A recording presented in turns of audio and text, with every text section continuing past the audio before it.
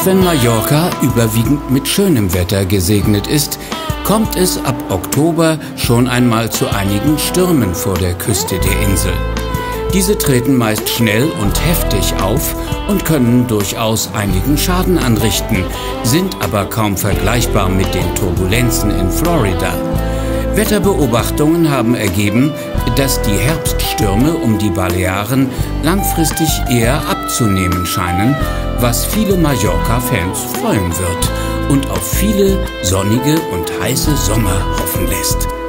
Nach einem Unwetter reißt der Himmel meist schnell wieder auf und die Abendsonne lässt durch ihr prächtiges Farbenspiel schnell.